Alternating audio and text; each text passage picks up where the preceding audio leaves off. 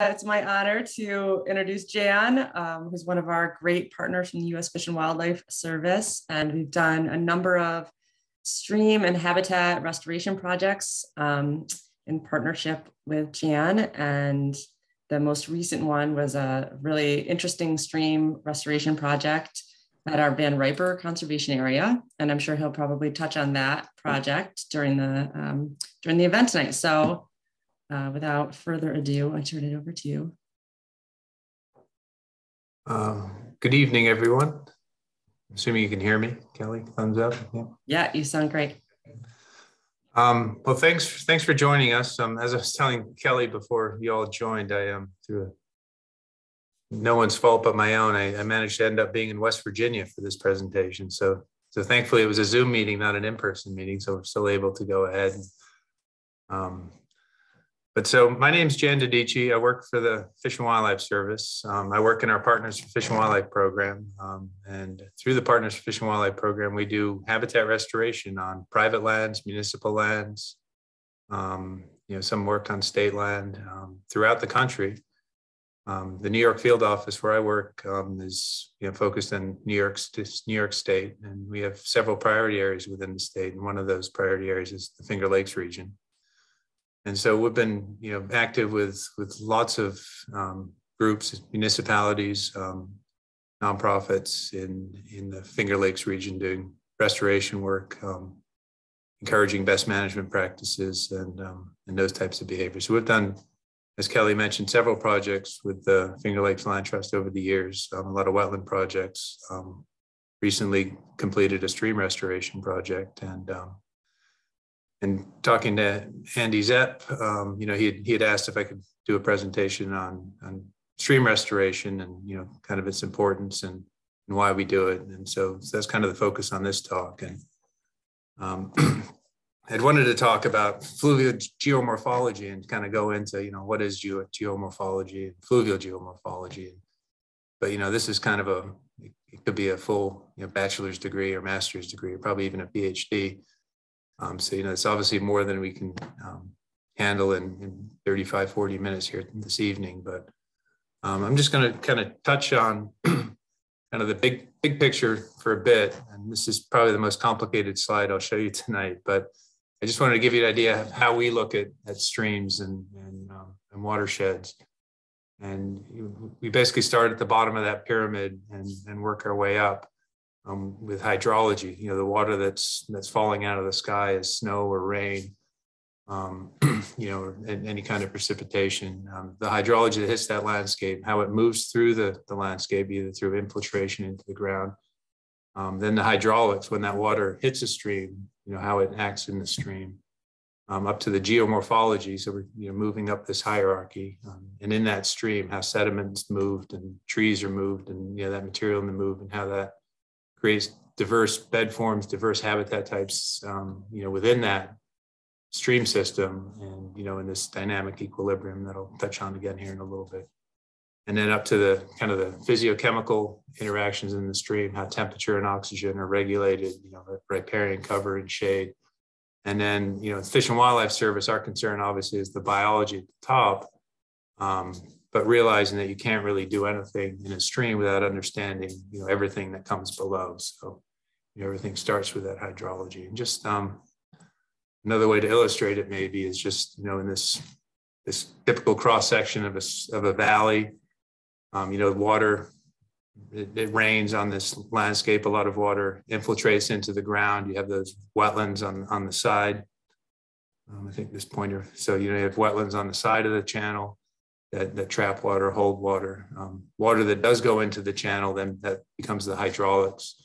Um, as you have wood and um, falling into the into the into this channel, that affects that geomorphology, the shape of the channel, and um, and then the chemistry again. You know, if you have shade or you know different different geological zones, you know, you might have a very calcareous soil, so you have you know high pH um, water or you know acid soils, and you have you know acid water um, so, so there's different physiochemical, and then how all of those things interact and affect the biology in the stream, and then also in the riparian buffers around them. Um, so natural stream corridors, they're, you know, they're dynamic, they're stable, um, relatively stable. So, you know, this, this picture here is just a typical meandering stream with good connection to a floodplain. During a flood event, you know, when that water comes up, um, we call it stage, as that stage comes up in the, in the river, it goes out onto this floodplain, um, which dissipates a lot of that energy. So the velocities stay relatively slow in that actual stream channel um, material still moving in that stream channel. You know, there are pools and riffles and all that gravel in the stream. It's moving, and in some storm events, you know, in flood events, you can you can shift, you know, a foot or more of, of bed material, but then it all redeposits, you know, just based on the physics and the and the, and the, ge- and the geometry of that stream, and you know, the, the, the width of the stream and the depth, all those all those physical characteristics of that stream channel you know, affect how that material all redeposits out. So you can go out there at low flow and have, you know, riffles in a place. And then during that flood event, everything moves, then it all redeposits back and you go out after the storm and everything um, looks like it hasn't moved. And we know this because we can put scour chains in. I mean, we just bury chains down into the gravel and there's they're vertical. And then after the storm, they, you know, we come back out and find them. And, and oftentimes they're just laying down flat, which means everything's moved and have tipped over and then filled back up to where they were. So so they're dynamic, but they're in this equilibrium where they kind of resort back to this stable condition. And um, so this next picture is just another stable stream. It's just a different type of stream, right? It's not that, that low gradient meandering stream. It's more, I, it's a steeper gradient. You, you don't really have distinct floodplains. There's more of a flood prone area. And this is important because when you're trying to restore streams, you want to make sure that you know what type of stream you're working in. So we have this um, stream classification system. We use this um, natural channel design stream rest um, classification system designed by um, Dave Rosgen, he's a hydrologist from Colorado. And, um, and, and this just gives us a way to, to kind of quantify what, what stream type we're working in, what the stream type is. So, you know, when, when we work with colleagues and partners, we know what type of stream we're trying to restore. And um, I'll just point out, because the next slide, this will be somewhat important, is that these stream types here at the end, the F and the G channels tend to be unstable. So if you're in a, if you're in one of these conditions, um, you're unstable. And unfortunately, a lot of our streams in in New York as a whole, and you know many of them in the Finger Lakes are in this condition. They're not as they're not stable. They're not in that dynamic equilibrium. Every storm event, there's you know mass wasting of banks and um, but these are all the, the, stable conditions, except maybe for, for D, this D and, and DA. But um, so, my slide stopped advancing. Can you still hear me?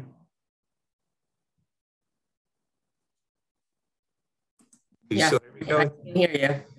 Yeah, I just got a message that PowerPoint has stopped responding. Huh. Um, this will be tough without slides. I mean, I can keep talking, but. Um, while you're while you're um, redoing your PowerPoint, why why is it that those the two stream types that are the most common in our area are the most unstable? Like, are there what are the characteristics that make them so unstable? Um, well, so a lot of it is. Um, sorry, I'm not a very good multitasker. Oh, sorry. and, and, and I'll get into this um, a little bit here, but um, sorry, just, uh, I apologize, everyone. I think at this point in our um, careers, we've all had PowerPoint problems. I just don't know. Don't know why that happened, but um, anyway, are we back? Yep. okay, so. Um, well, I, I, think I'll get to your question in a little bit. Um, so we have this this transition. So um, you know, I was talking about kind of this classification system we use, where um, you know these are these um, these channels over here are the stable form. Forget you can't see my pointer. So these are the stable form over here. You know, there's A, B, and C, and these and E and, and this F and G are tend to be unstable. And so we, um, man, it froze up again. Is it the pointer that's doing it to me? Um, so, so we have these um, channel evolution models where, um, you know, it's just a way to, to kind of classify how, Um, ugh. Yeah, maybe it is the pointer. I don't know. Yeah, I'll, I'll try to do it without it. Um, anyway, so so we can um, so so with those stream types, as as um, as, as things happen, disturbances, um, perturbations happen, you know, on the landscape, it can affect those stream types and move them from those stable conditions to those unstable conditions. So whether it's uh, you know a response to a flood, when we have a big flood, there's often a big um, amount of sediment that that moves into the system. Um, our our you know the town's reaction or the municipalities, the government action tends to be to get in there with with bulldozers and excavators and and clear clear the stream back out, fix the stream, and um, often that can lead to um, unstable conditions that then kind of just escalate and, and snowball and, and make things worse. And, um, and so you, you get through this, you get into this transition of, um, of different stream types. So, you know, I talked about those stable stream types. So you can go from these stable stream types to unstable stream types. And then as, um, um, as if, if, if you if you give it enough time, it'll eventually revert back to a stable stream type. Um, unfortunately, with you know, since we're living in, in in a highly populated area with, I mean, I guess we're not a highly populated area, but uh, you know, we have infrastructure, we have we have things we we're not willing often to just let the stream adjust on its own and take that you know 10 or 15 or 20 years that it might take for it to adjust and, and return back to that stable form so we um, so we take the approach of trying to go back in and, and set the stream to one of those um, stable forms. And I'm going to try to share one more time. And I really appreciate everyone's patience. And um, looks good. Okay, I won't use the pointer again. Why does it? Why does any of this matter? So you know, back in this is a picture that I got from New York State Archives, you know, back in 1916, you know, we had stable streams back then. We have stable streams now. Um, I just brought this historical picture in because, you know, a lot of the reason that a lot of our streams are in the condition they're in, and this is getting to your question, Kelly, is that we have, we have had a history of, of managing streams, right? So historically, you know, streams were ways to get logs from the mountains um, down downriver. So, you know, up in the Adirondacks, they would pile these logs up in these big, um, big stack piles, and then they would come in in the spring when the water is flowing and knock those bottom logs out and roll all those logs down into the river. And, you know, just for a sense of scale, you can see these, you know, these log walkers out here. Um, you know, just so just masses of, of amounts of material was transported down these river channels. And in order to facilitate that, they went in there with big steam shovels or hands and ox and just you know, took boulders out, took all these features out, all these roughness features that, that slowed water down. And, um, you know, when you tried to have a log drive, they also slowed those logs down. So they removed all these features and just made these big water conveyance channels to move that water through. And so when you when you do that, you change the that you know that the that you know equilibrium within the stream, and it starts these unstable conditions. And, and a lot of these streams are still adjusting now. You know, 100 years later, they're still adjusting to those disturbances. And then oftentimes, you know, again, I mentioned earlier, after flood events, you know, we go in and, and try to fix that stream, manage those streams after those flood events. That just kind of resets the clock, and um, and then it's it's back on again. So, you know, it wasn't only logging. Um, this is there's a, a neat. Um, the, again, the, the state has a, has a cool, um, the, the state library in Albany has, has, you can go back and look at all these old records have this engineering record. So I just pulled this up um, a while ago. So Canaseraga Creek, this is out, um, you know, the 390 corridor that goes up um, up to Rochester, you know, basically south of Rochester. And you can see, can, can you see my pointer, Kelly, or you can nod or, yeah, okay. So, so you can see how the stream used to meander and then, um, you know, and it used to have all this debris in it. They call it debris, all this wood and, and other features. And so to, to reduce flooding in these fields, you know, which are reliant on water and that redeposition of sediments and all those natural processes that happen with, with you know, periodic flooding, to reduce flooding in, in, in, all the crop fields, they went in and straightened it. And you see that new straight line. And, um, you know, going through there and then cleared it and obviously improved the channel to carry off that high water. And in doing so, you kind of set off this perpetual cycle of, of instability. And just another interesting fact is a lot of the town lines out here follow this old meander pattern, even though those meander patterns go through fields now because the stream is still straight. But um, so you know we carried that behavior on into the 50s and 60s, and this is just you know an aerial photo from you know, the Cornell lab somewhere in, in Chenango County or Tompkins County. I don't remember where, but you could basically find anywhere in the state and find this you know, just straighten that stream. You can see the old meander patterns in here and just straighten it. And that just, you know, creates an unstable system. It creates a lot of bed load and, you know, destroys the habitat in the stream. And here's just the closest, you know, we're still doing this, right? This is a few years ago out in Western New York, um, a trip to the Genesee River. And, um, and, you know, response to floods is go in, berm it up. And, you know, it might, it works until the next time it floods, um, but it, you know, completely destroys the stream habitat. There's no real biological function in there. Um, it's just, it's, it's really not a, an appropriate response to flooding in, in our mind because it doesn't stop flooding, it doesn't reduce flooding. It just, the perception is that it does, but, but the reality is that it doesn't. Um, you know, every once in a while we'll have a municipality put it in a low flow channel. So this was supposed to be, this was this municipality's attempt to put in a low flow channel for fish. This is a trout stream. Um, but you know, this this isn't a good condition. Um, so, and then, you know, our response has been to you come in and you riprap a bank and that'll protect it, but then the river has other ideas, so it takes it out. So you put in bigger stone and, um, and, you know, the river has other ideas and takes the stone out. This, this is actually Six Mile Creek.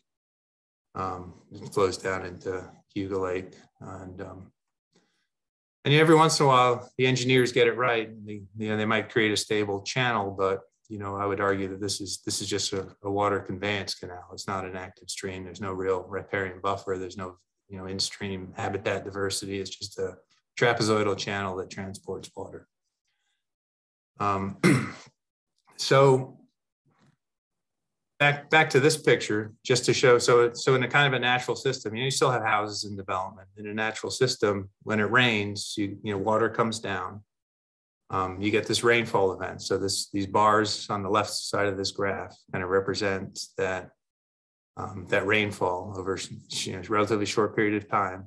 This red line um, is re representation of flow. Um, you know, we, we measure water moving through streams as, as flow, cubic feet per second typically, um, and over time. So you get a big rain event, it, you know, a lot of it infiltrates, some goes up in evapotranspiration in the summertime, but a lot of it ends up eventually in the channel and you get this surge, you get this peak, and you get this, you know, this is kind of the peak flood event and it's extended over a relatively long period of time and then, and then tapers off.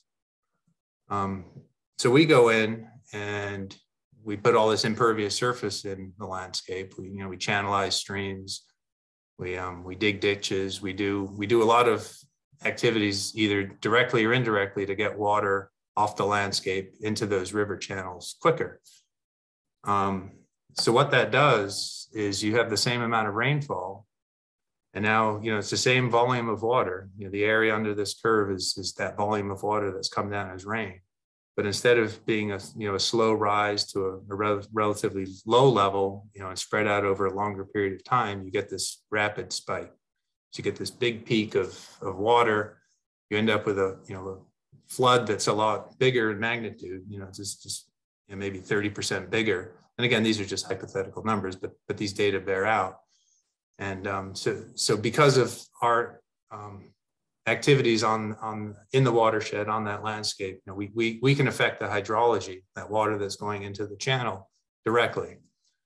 And, um, and that has consequences for, for this channel evolution, right? So you start off with a stable channel. Now you're, you know, you, there's there's some perturbation on the landscape, and that, um, and you know, now you get that big slug of water. It can incise it down to to a, this G channel, and I'll, I'll talk a little bit now about this. So so as that stream cuts down, um, you know, now it's conveying all that water and sediment, and then then the stream wants to naturally start to meander again. So it starts going back and forth in, in this narrow channel, making a wider channel, and in doing so, it takes all this bank material and, and brings it downstream. So from a water quality perspective, we're now bringing, you know, mobilizing a lot of this bed load.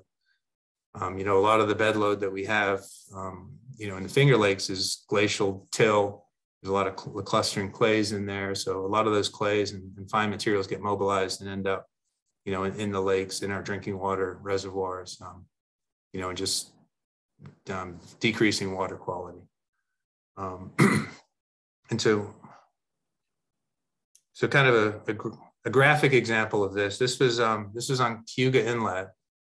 And um, we were doing some work up here and I noticed so the, these log structures in here that you can sort of make out on these pictures, these were old cribbing structures that the Conservation Corps put in probably in the 1960s or 70s for fish habitat. And when they put them in, the stream bed was up, you know, probably where my cursor is. Um, so up, you know, halfway down that, that waterfall was a stream bed. These were all underwater. These were providing habitat for fish. The, the bed of Cayuga Inlet has since dropped, you know, five or six feet in spots you know, due to activities that have caused that incision. And this this old cribbing is acting as a as a check dam for the, for all that material upstream. So all that that stream upstream that's flowing down over that um, is being held in place by just that old cribbing. And I thought at some point it would give, and and it did, unfortunately. And, um, and so what happened is that everything upstream, so where you used to have that stream channel up here on top of this surface, um, you know, is that that that C channel all the way to the left of that channel evolution model where you had good connection with a floodplain has now cut down through. It's incising, banging around in there, bringing all that sediment down into Cayuga Inlet that then goes off into Cayuga Lake.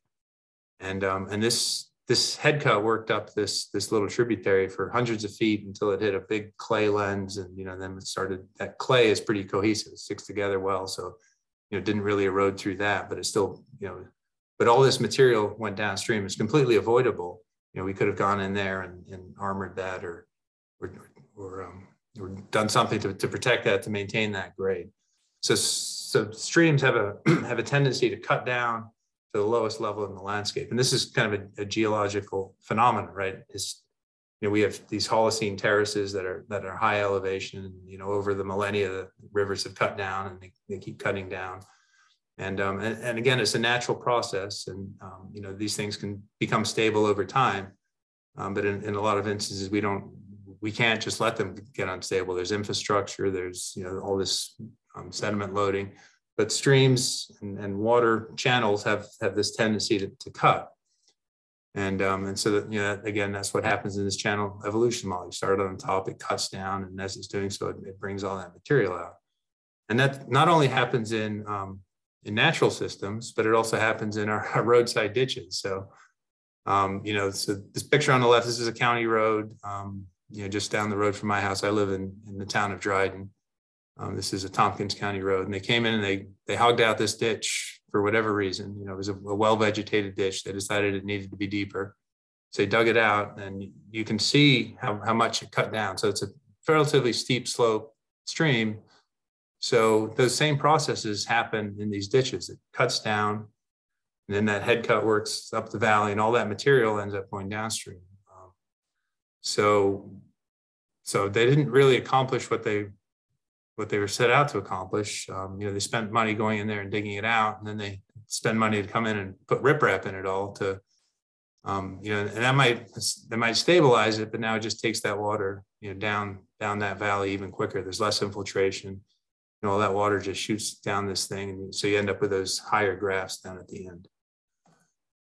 Um, so, so our approach is to use, um, you know, that that channel, the stream classification system, try to mimic those natural reference conditions and, um, and create a, a, stream that has a stable um, dimension, that's, you know, the, the channel dimension, a pattern and a profile um, that's, you know, can transport that sediment, um, can, can provide those, those basic functions.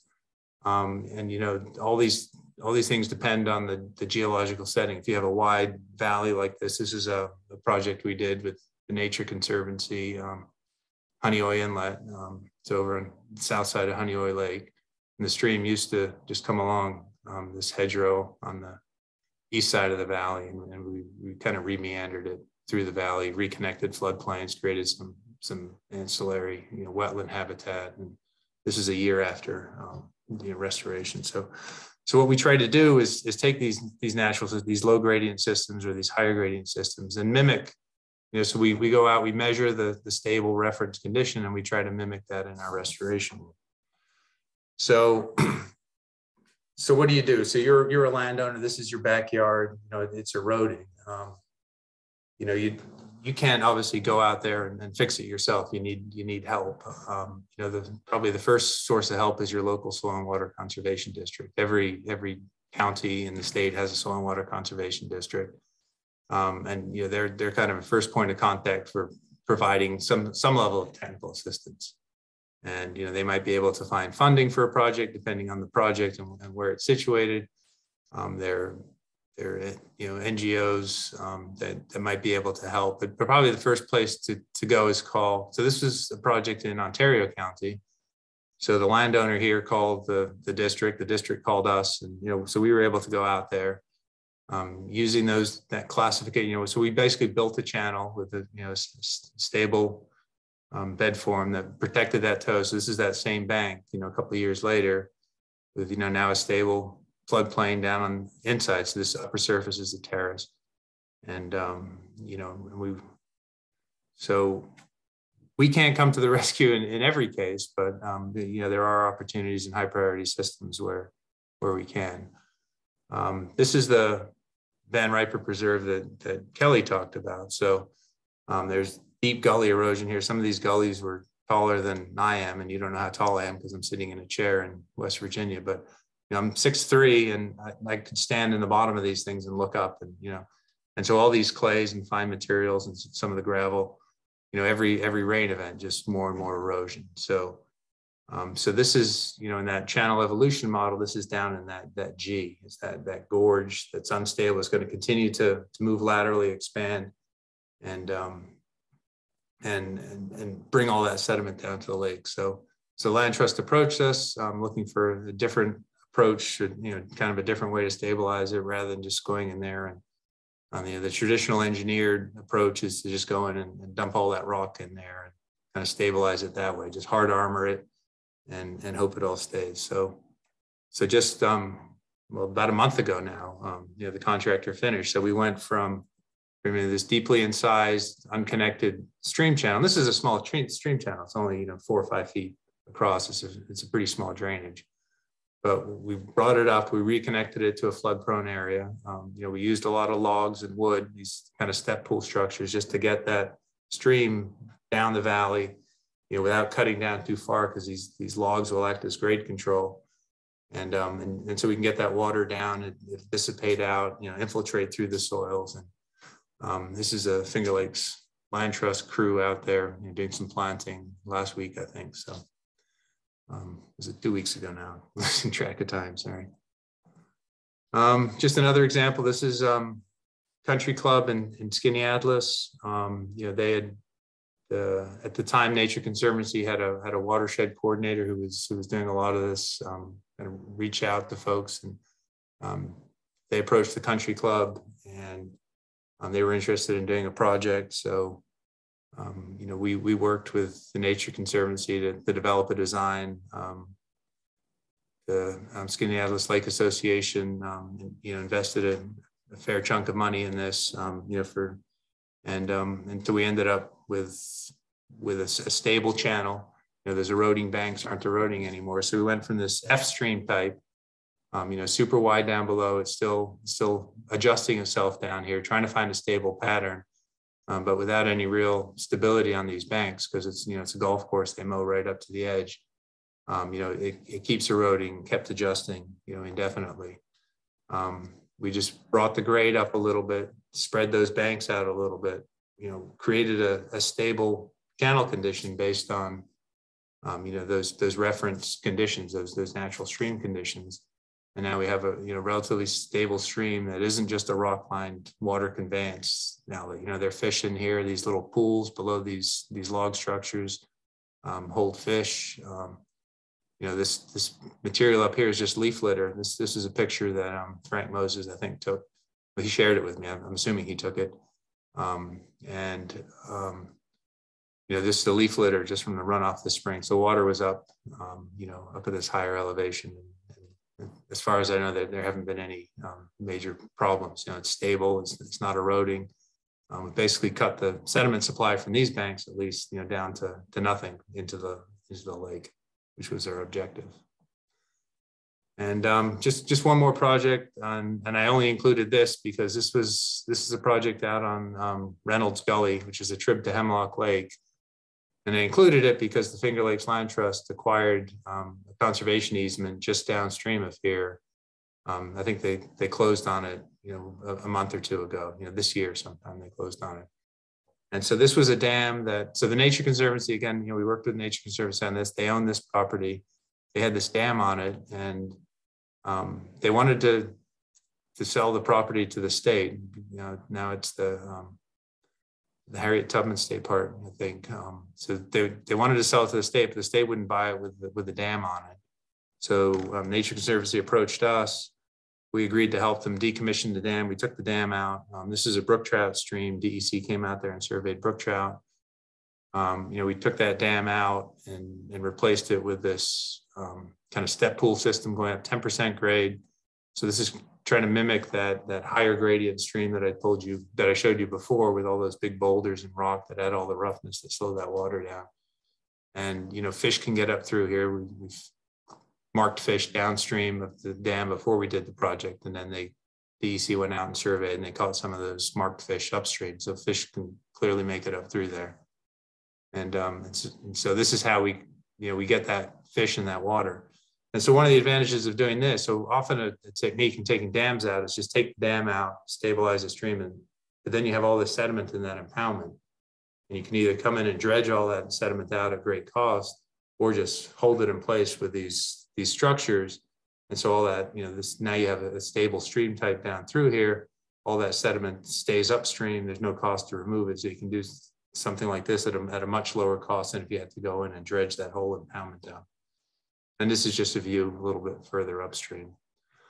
Um, so that's that's about it. Um, I know Andy had asked me about 35 minutes, 40 minutes, so maybe went a little fast, but um, I think the goal here was really just to, um, to kind of give you a very brief overview on, on stream function and um, you know some some restoration, some some pictures, and, and maybe um, you know certainly we're going to spend a good good amount of time here, hopefully answering questions and, and interacting. But um, you know, feel free to email me or, or contact me if you have you know a project of, of your own um, that you'd like some technical assistance on or support on. you know, again, we you know, there's only two of us in our office who do this um, stream restoration work, and we cover the whole state. And you know, I, I mentioned we have priority areas and um, priority species, and most of our work is focused around brook trout. Um, incidentally, this picture here is um, is a project up on the west branch of the Ausable River that um, my boss Carl Schwartz um, built a couple of years ago, and it's all that was an eroding bank and all those logs that you can see sticking out of the bank. So we we basically this is a wood structure and a, and a new bankfull bench, that floodplain bench that we built in here. And then these rocks are kind of acting as grade control to keep that pool a pool. Um, but there's only two of us and we we kind of, you know, are, are focused in our priority areas and our priority species, again, primarily brook trout. But, um, you know, if you need technical assistance, um, you can certainly reach out to us. Either of us, Carl can be reached at that same phone number. And, um, you know, we oftentimes we'll, we'll try to work with local entities, um, you know, depending on where you are and, and you know, what your needs are. Um, but, you know, it's rare we can just go in and, and do a, a, project on, on anyone's property, but, you know, we, we, can certainly provide assistance and direction. So with that, I guess, Kelly, um, well, thank you so much, Gian. We have we actually have quite a few questions. So um, I think I will start right pretty much from where you left off, where you were providing your contact information and Carl Schwartz's. I don't know if you are probably writing that down right now. Um, but are there any prerequisites, you know, or project specifications that that you require, that U.S. Fish and Wildlife Service requires to get you to participate in a project? Um, well, not really. So, so the partners program is pretty. Should I stop sharing? Did you think everyone's had a chance to write it down? I think so. Um, so the, the, Fish and Wildlife Service is, the, or the Partners Fish and Wildlife Program. We're basically a, a landowner-driven um, program. The way it works is people call our office, and um, you know we at least talk to the, to the landowner, see see where they are, what their situation is, you know where they live in the landscape, what they're looking to do, and you know if we can help, we'll, we'll go out and we'll do a site visit, and, and we go from there. If we're not able to help, we'll, we'll maybe you know point them to to other directions or to other resources. Um, you know, again, we're limited. There's only two of us in the office who do stream restoration, three of us total in our program. And, you know, we have to cover the whole state, but we do have priority areas. You know, we have big geographic areas, the Finger Lakes, the, um, the, the, Great Lakes plain mostly up in the St. Lawrence Valley, um, you know, the Adirondacks and, um, the Delaware Valley, some of the Delaware Basin and upper Susquehanna drainage. So it's a pretty big areas, but um, but within those areas, we we tend to be primarily focused on on brook trout. Um, brook trout are you know the only native trout in New York. Um, you know, there's concern with climate change and, and changing river conditions as, as, temperatures get higher that you know they're not going to persist as, as, as well. You know, without protecting the, the, those kind of core areas. So so those are our, our real focus areas. Um, you know, in the Finger Lakes, we don't have many um, brook trout streams or streams that, that hold brook trout, but there are there are several. Um, you know, Six Mile Creek I mentioned earlier, um, the headwaters Six Mile Creek is a pretty good population of brook trout. So you know that that's kind of a, a local priority area. Um, there's some trips to the um, the Chemung River um, over. Um, I, I, think DEC region, so DEC region eight, but further west from here, and and then but most most of the, there aren't too many brook trout streams up in the in that northern part of the Finger Lakes region. But ah. and that kind of leads to right into the next question, which is um, I guess Six Mile Creek would maybe be one of them. But are there other tributaries in the Finger Lakes that re- that kind of need this more urgent attention, or that you know you know have these places that could use some restoration? Well, so you know, I think I think just about every every reach in New York is is, is impaired at some level. Um, you know, Cayuga Inlet is a good example of a of a stream that is you know actively eroding at, at very high rates in, in numerous spots. And um, you know, we've we've done work on Cayuga Inlet. So so you know, I said we're focused on brook trout, but we're also you know one of one of our objectives is to to get entities, um, you know, the state hopefully eventually, but to get municipalities to to do the right thing and respond appropriately to incidents, you know, flooding incidents.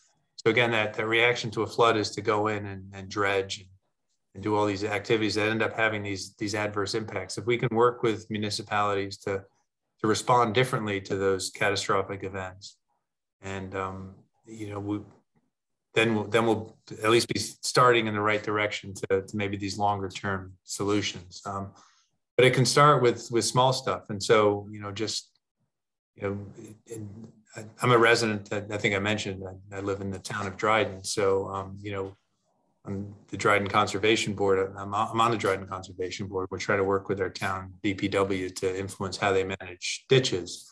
Um, I, am sure many of you have heard um, rebecca Schneider talk about um, roadside ditches and you know how much water it basically shunts from that landscape. So the hydrology is that water hits the landscape and, and flows down the valley. You know, those those road ditch networks take up, upwards of 25% in, in, small watersheds of that water and shunt it directly into a stream. So you get this big influ- influx of sediment and, and nutrients that, that affects water quality and, and all that sediment affects um, that geomorphology you know within the channel and affects how, how streams flow. So you end up with increased erosion um, so, so even though we're focused on on brook trout primarily, you know, we're more than happy to provide technical assistance to to anyone. So we work with Tompkins County Soil and Water on projects. You know, we work with obviously you know the Finger Lakes Land Trust, the Skaneateles Lake Association. You know, I mentioned Nature Conservancy a couple of times. So we'll provide technical assistance on projects. We just won't necessarily be able to find funding for those projects, or um, you know, we're more more in-depth involvement. So you know, our typical project, we go in, we we survey, we design, we oversee construction, and then you know, so so we take it all the way through. Um, but a lot of times we're just able to give technical assistance and, and, go out and meet with landowners, meet with entities, and tell them what you know a, a strategy that might work, that might work better for them. And you know, a lot of the problem around Finger Lakes and around New York is just these these unstable high gradient streams just dumping all this sediment you know, nutrients that come with that sediment into the, into the lakes and, or into bigger bodies of waters. Um, a few kind of uh, on the technical end, what when you are adding those logs to create, you know, this this stabilization, um, what happens when they rot away? Does does that happen? Um, well, I haven't been around long enough for them to rot away. so, uh, so, so we Van Riper is the, the first time we put it in a spot in an ephemeral stream. So normally we're putting them in, in perennial streams where there's water flowing year round. And submerged logs in, in that anaerobic condition you know, rot very slowly. And so, you know, we when when we're building projects, we pull wood out of the stream that's probably been there for you know hundreds of years. Mm. expectation is that water that's submerged constantly is, is going to last indefinitely. Um, a lot of the structures we use in, in stream restoration, we, we use, you know, we use a lot of wood because, you know, I mentioned the logging earlier and our, our history has been to take wood out of the streams. And, and one of the things that's lacking in streams from a, from a fisheries perspective is wood. But that, that woodland stream also acts, you know, as, as a roughness component that slows water down and, um, you know, acts to, to reduce that flood stage because it's slowing water down. It's not passing it on down. So so we add a lot of wood to streams, but we also use structures with with law or rocks and you know um, not armored, but but just just bigger structures. And um, but but what we're trying to do is is re reestablish kind of that framework within the system so that the natural processes can take over. So Van Riper, you know, if those trees rot in, in 15 or 20 years, you know, the hope is that the that the trees that you know that your crews planted or your volunteers planted on the banks, those those roots will then go in and you know take over. And um, you know that picture I showed of the cribbing that was acting as as grade control. I had another picture that I actually took when I was out for a bike ride a couple weeks ago on one of your um, easements, and um, where there were just roots that were acting as a grade control on a ditch. So a ditch had been cut um, by my town, you know, over deep, and there there were roots in a tree on a, on a side trip, just an ephemeral channel coming in, that those roots were acting as that grade control. And when that channel gets under that grade control, you know, you're going to have four feet of cut, you know, going up that valley and all that material just coming in and um, filling in that ditch. They can come out and start that whole thing over again. So, um, so, so, just so, so we try to reset that stream, and then the the natural processes take over. Those trees grew, those roots, you know, act as that grade control, and and you know, the, the intent is that it, it functions kind of normally after that or naturally. The slide that you showed with all of the different types of streams, is that mm-hmm. one just the US Fish and Wildlife Service uses, or does is that like kind of a commonly used? Um, it's it's so so natural channel design is a very um, contentious um, methodology. So it was developed by um, by a um, hydrologist, um, Dave Rosgen, out in Colorado, um, back, you know, he started working um, with Aldo Leopold um, back, or not Aldo Leopold, um, Luna Leopold, Aldo's son, um, on on stream stuff back in the 70s. And you know, he's he's developed this methodology, and um, and that that classification table is something that that he developed. And um, so some states in in um, Maryland and Virginia and Kentucky Tennessee, there are a lot of states that, that use that as part of their regulatory process, and you know, they, they, use that. New York is sort of on the on the border, um, or not on the border. On the they, they haven't really come up with a an official classification system, but we use it. Um, you know, all the all of our partners that, that we're working with, you know, in the Northeast, um, kind of use that same lingo. So if someone tells me they're working on a C4 stream type, you know, I know it's a low gradient meandering stream with with gravel substrate you know, a B2 is a, a steeper stream, you know, two to 4% slope with, with big boulders in it. Um, so it's just a, it's just a, a, way to easily classify and, um, you know, but, but no, it's not a, it's not a necessarily common thing. It's not, definitely not anything the Fish and Wildlife Service developed. It's just a way for us to be able to communicate and just design stuff. Yeah, great. You mentioned um, a few times fish returning, and there was a question about is that happening? Or uh, like, are the fish returning to these streams on their own, or is that, or do they, have, they have a little help? So, so I mean, a lot of what we do is is fish passage work. Um, so, you know, that dam removal, you know, project that I talked about, there was a, there was a, a dam there, and there there were brook trout upstream, and there were brook trout downstream, and you know, it was kind of a one way trip for the brook trout. If they went down, they couldn't get back up. Um, so, you know, there's there's a lot of genetic genetics work and um, you know, that shows you, you can get these isolated populations if there isn't mixing or the ability to mix. So a lot of what we do is is focus on replacing culverts and um, providing that fish passage, basically reconnecting all these um, minor tributaries so that, that, those fish can move around. And, um, and so yeah, so we we don't typically do work in streams where there aren't any fish to start with, but usually there's a there's a barrier of some sort in, in that stream. And I think I mentioned Skaneateles um, Lake that you know there were minnows in that stream. You know, probably um, black nosed dace or something, and um, you know they they were there before in, in the you know adverse conditions. There there's better conditions for them now. But if, if you know the traditional approach that that I showed, just that you know rocked you know water conveyance thing, there you know there probably wouldn't be much surface water. Most of the water probably infiltrate down through. It gets very hot in the summer and you know, it just wouldn't be good habitat. So. Great. Um, just, you know, in terms of things that people can do and, you know, for themselves, I have a question about um, about rain gardens in front yards and creating some sort of like habitat buffer.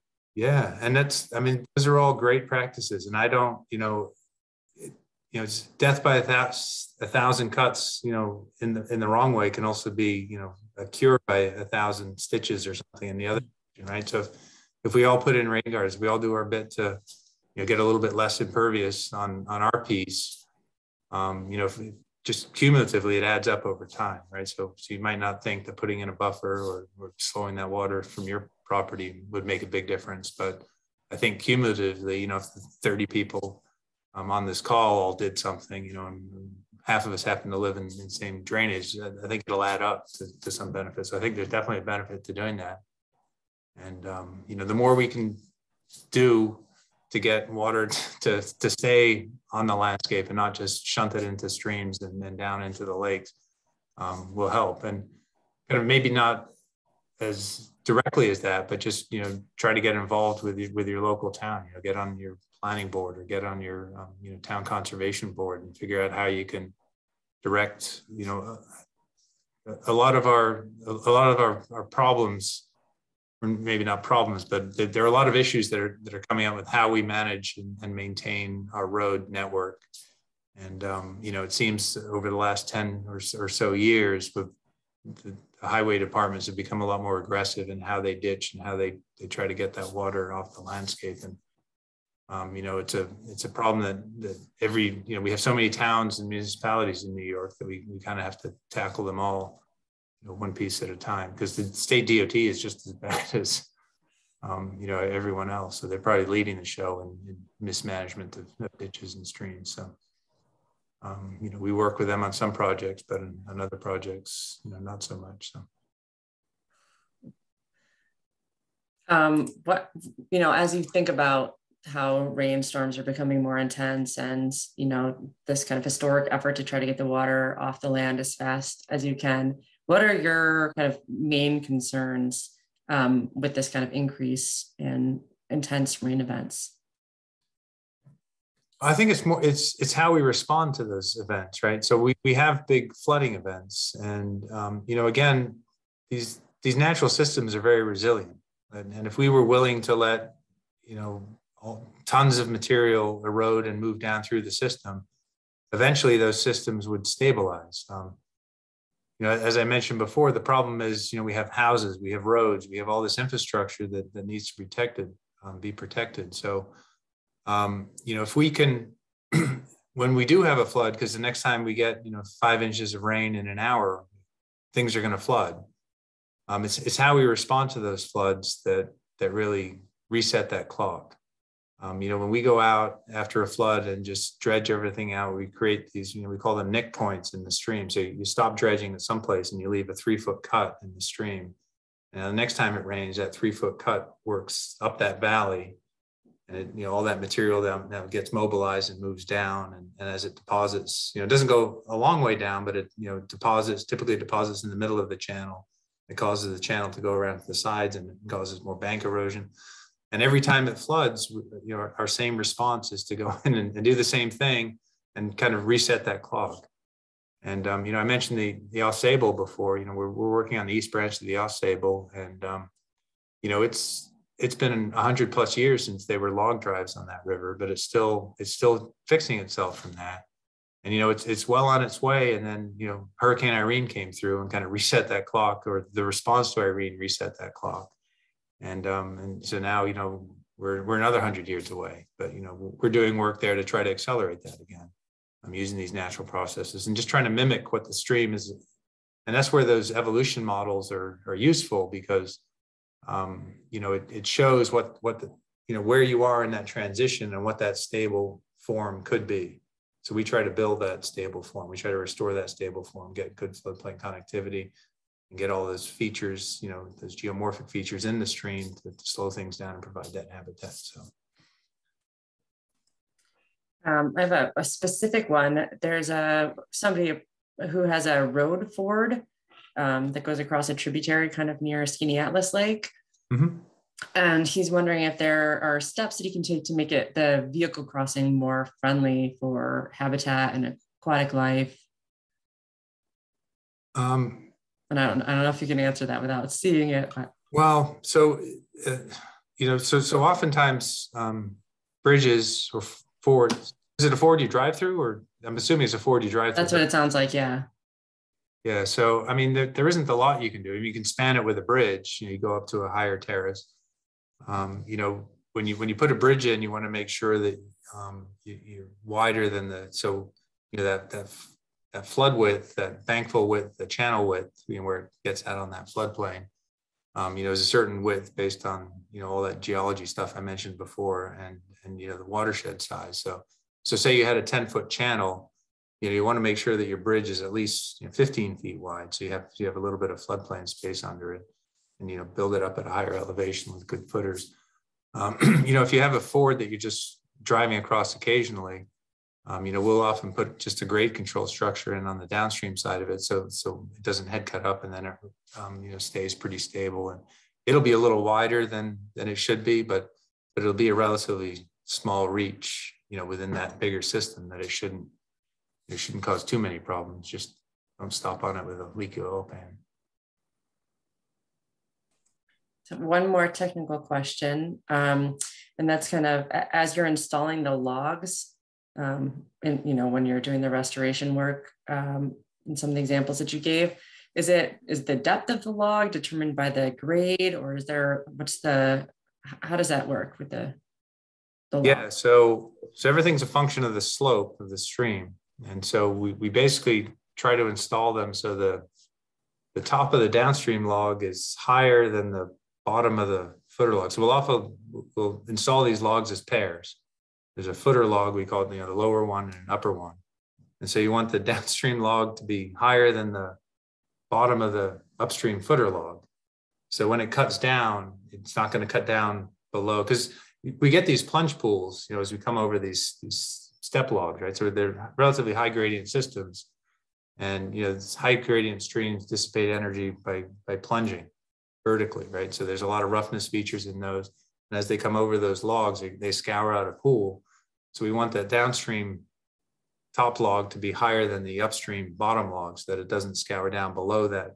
If, if you put it lower, then it can scour down to a depth that's below those footer logs and then they get exposed and potentially blow out. So but yeah, it is a function of slope. So the, the flatter you get, the further apart you can space them. Um, but also if you get too flat, you know, now you have another stream type. And that, that's where you go back to that, you know, stream classification. Anything below 2%, now, um, you know, now the stream wants to start meandering. And so when you try to get a stream to go straight in a low gradient system, you know, it just doesn't have the energy to move the sediment that's a part of the natural process through that system. So it starts to deposit and it starts to try to meander. And that's why, you know, those dredging projects through, um, you know, trying to straighten a meandering stream, you know, those low gradient streams is, is never going to work without constant, you know, maintenance because the stream wants to meander. I mean, it has to meander. It's the only way it can get down valley with all that material that's moving. You just can't do it in a straight line. You know, there's this relationship between slope and sinuosity, and the more you know, sinuous the stream is, the, the flatter that valley, and as it gets steeper, it straightens out. So, um, one quick definition: you you mentioned the um, term head cut. What right. head cut? So, so head cut is um, is when you have a, a, a break in grade. So, so if you have a stream that's coming down, you know, at, at a fairly uniform slope, um, then if you go out and dredge it and create now a, a kind of a nick point, so that that nick point there um, becomes a head cut, and as it as water comes rolling over that, it, it, moves it up up that valley, so it ends up moving upstream. So, so that you know if it's a two foot head cut at two feet of material, you know, by however wide your stream is, as that moves up up valley, all that material is now being transported downstream.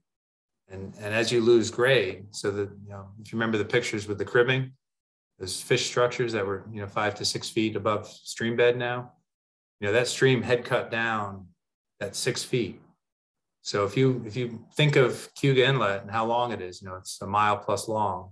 So you have a mile times 35 feet times six feet, you know, if you do the math, that's a lot of material that it ended up down in the lake that now, you know, trying to figure out how to dredge it. And that's all preventable, right? If you put grade control in and you, and you stop it from cutting down, from head cutting, um, you know, you can stop all that. And then all those side trips that contributing even more material. So, um, so head cuts are kind of the, you know, that those big, those big um, rocks that I showed that picture of, you know, they were falling and they tried to stabilize the bank. Those, those failed because they got undercut.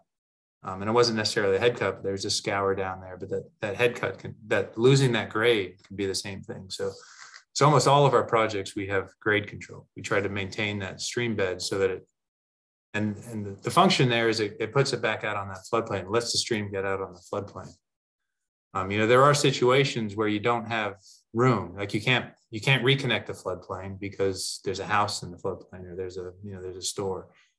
Um, so you know that's so then you, you work within an hour you know, stream width, that belt width, and you, you try to meander a stream and put structures and roughness features in there that keep all that water um, in that system. But so that's maybe a lot more complicated explanation to head cut, but it's basically the whole thing is complicated. What's that? There's, the whole thing is complicated. Lots of moving parts and you know different systems to think about. So thank you so much. This has been great. And um, I can tell from the just the number of questions that, you know, everybody's get, gotten a lot out of this. So we, we really appreciate your time. It was my pleasure. I'm glad I could, could be here. And, um, you know, feel free if you have follow-up questions to email me or call me. And um, I'm, again, out of town this week, but I'll be able to be back next week. I'll respond next week. Great. And I'll put the um, land trust email in there too. So anybody can email info. And if you have questions that you think about later, um, or, you know, at some point, this is recorded. So we'll share out the recording um, and, and then you can share it with friends who are interested in this, this kind of information. So thanks again. And we really appreciate your time and everybody else for joining us. Uh, have a wonderful night.